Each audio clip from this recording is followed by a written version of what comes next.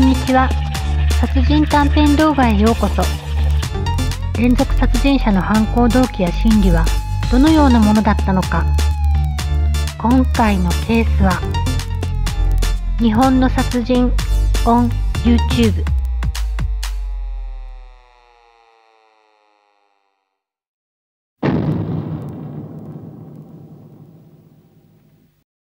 Le 27 juillet 2020, à Karasucho, dans la préfecture de Mie, au sud-est du Japon, un pêcheur a eu la mauvaise surprise de découvrir le corps sans vie d'une femme qui gisait sur la plage. D'après les premières constatations de la police de Tsuminami, arrivée rapidement sur les lieux, il s'agirait d'une femme d'une soixantaine d'années, d'un mètre 45 avec une large cicatrice, souvenir d'une ancienne chirurgie à l'abdomen. Toujours non identifiée, la scientifique a réussi à établir qu'elle était morte depuis trois jours au moment de sa découverte. Si elle ne porte pas de traces d'agressions externes, le légiste a déterminé les causes de sa mort, la strangulation. Vêtue d'un pantalon noir et d'un haut noir brodé de fleurs, la victime n'avait aucun effet personnel dans ses poches et fut retrouvée les pieds nus. Les autorités locales s'affairaient à retrouver l'identité de la personne lorsque, trois jours plus tard, le 30 juillet, un promeneur qui profitait du lever de soleil sur les rochers de la rivière Kisso, toujours dans la préfecture de Mie, a aperçu en contrebas une large tache rouge et un corps allongé sur le flanc. Pensant à un accident causé par les rochers abrupts et glissants, il a immédiatement prévenu les secours qui, une fois sur place, n'ont pu que constater le décès de la malheureuse promeneuse.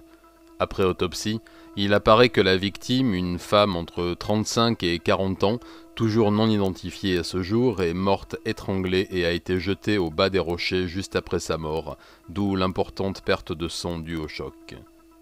Le plus troublant pour les enquêteurs, outre le modus operandi et la proximité entre les deux scènes de crime, environ 35 km, est la ressemblance entre les deux victimes.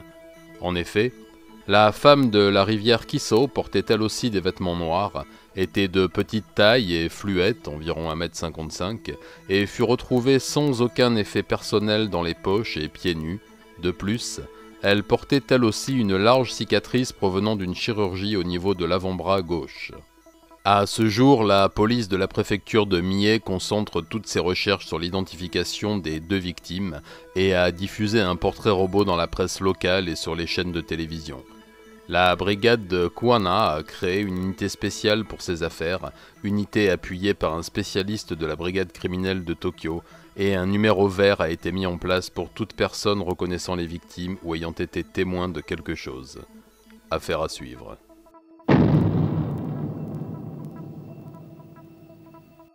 Le 10 août, la police de Fukuoka, dans le sud-ouest du Japon, a été alertée par le parent resté anonyme d'un homme, Hikikomori, donc un reclus volontaire de 41 ans, visiblement en détresse psy et susceptible de passer à l'acte suite à des propos incohérents et menaçants.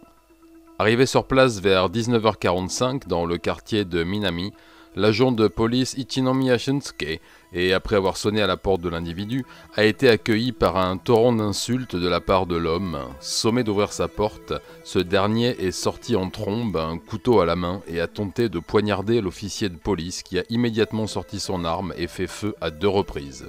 Le forcené a reçu deux balles de calibre 38, une dans l'abdomen et l'autre dans la hanche, stoppant immédiatement son assaut. Inconscient mais vivant, l'homme a été conduit à l'hôpital de Fukuoka, il est aujourd'hui tiré d'affaire et sera transféré dans une unité psychiatrique de sécurité pour évaluation. En attendant, il a été mis en examen pour tentative de meurtre sur personne dépositaire de l'autorité et risque 30 ans de prison. L'officier Itinomiya, lui, a été félicité par sa hiérarchie pour son sang-froid et son tir non létal après que sa réponse eût été jugée appropriée au vu de la situation et classée comme légitime défense. Cet incident a de nouveau braqué les projecteurs sur le phénomène Hikikomori au Japon.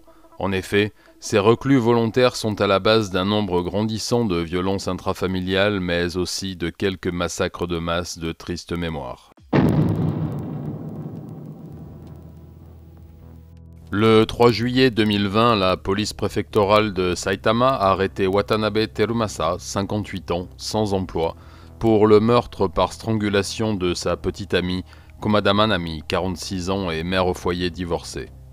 L'affaire avait commencé quelques semaines auparavant lorsque la fille de Kumada, âgée de 21 ans, était venue porter plainte contre le nouveau compagnon de sa mère pour des attouchements et une tentative de viol.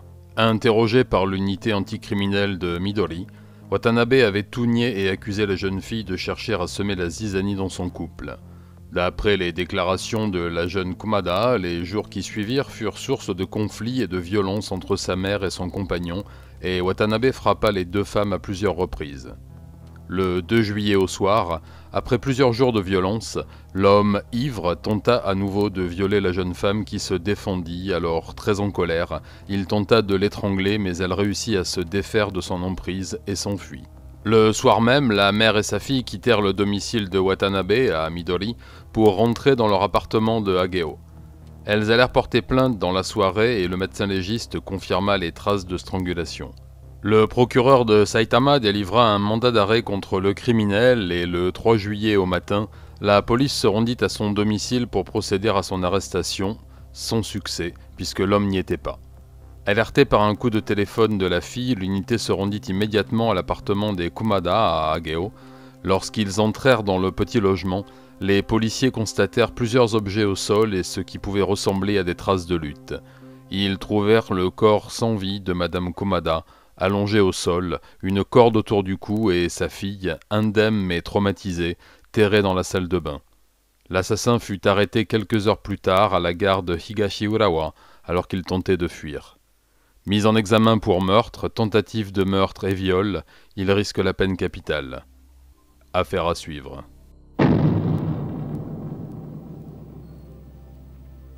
Le 8 août 2020, le scénariste et créateur du manga Act Age, publié par le magazine Shonen Jump depuis 2018, Tatsuya Matsuki, a été déféré devant un juge de Tokyo suite à son arrestation par la police métropolitaine pour attouchement sur mineurs de moins de 16 ans. C'est le 18 juin que l'homme avait été accusé par une jeune collégienne de 15 ans de s'être rendu coupable d'attouchement alors qu'elle rentrait de ses cours de soutien scolaire. Les caméras de surveillance confirment ces accusations et montrent l'homme arriver en vélo et mettre ses mains sur la poitrine de la jeune fille, la surprenant et se collant à elle. L'enquête a démontré qu'une agression similaire avait eu lieu une heure plus tard dans le même quartier, Nakano, également sur une collégienne du même âge. Le directeur de publication du célèbre magazine de prépublication a exprimé dans un tweet toute son indignation et affirme que des mesures seront prises contre le scénariste agresseur. Affaire à suivre.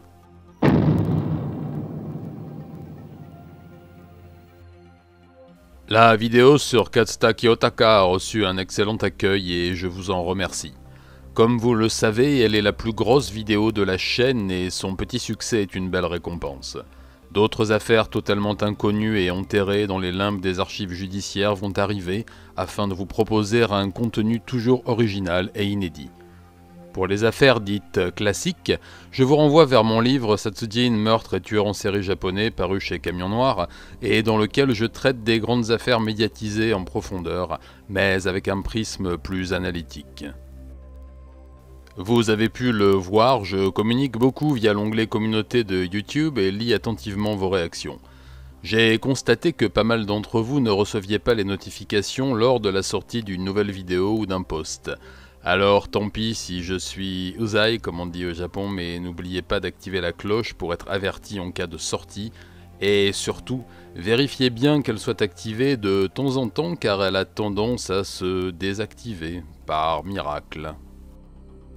Le nouveau t-shirt Satsujin rencontre un vrai petit succès sur ma boutique Spreadshirt, alors merci à tous ceux qui ont décidé d'être les plus classes sur la plage, et n'oubliez pas qu'il y a plein d'autres modèles pour vous faire plaisir. Comme vous l'avez vu, je fais de plus en plus de vidéos depuis quelques mois, mis à part ces deux dernières semaines pour cause de crash technique, et elles sont de plus en plus longues. Tout cela se fait au détriment de mon travail et jusqu'à maintenant quasiment gratuitement puisque 90% de mes vidéos sont démonétisées. Mais tout cela n'entache en rien ma volonté de faire de cette chaîne une activité à plein temps en complément de mon travail d'écrivain et d'illustrateur. Et c'est là que je vais avoir besoin de vous. Vous qui passez par hasard et aimez mes contenus, abonnez-vous. Ça ne vous coûte rien mais ça aide au référencement de la chaîne et vous qui êtes abonnés, Pensez à la cloche, vous qui aimez mes vidéos, commentez-les, partagez-les et faites vibrer l'algorithme fou. Enfin, Un grand merci à tous les tipeurs et les utipeurs et à ce propos un petit topo sur Utip. La plateforme de dons en ligne proposait jusque-là un système de publicité à regarder et qui allouait aux créateurs un centime par, euh, par pub vue. Mais voilà, après la crise de ces derniers mois et la chute du marché publicitaire en ligne, ce système s'arrête. Je sais que nombre d'entre vous l'utilisiez et encore un grand merci pour avoir sacrifié une partie de vos neurones pour m'aider. Utip est dorénavant comme Tipeee, une plateforme de dons. Ah, alors oui, si vous pensez que mon travail mérite un pourboire d'un euro par mois, et si la moitié d'entre vous êtes prêts à sacrifier le prix d'un carambar pour m'aider dans mon travail, alors de grandes choses seront sans doute possibles. Alors d'avance un grand merci à vous tous, et en attendant, je me remets au travail. Matane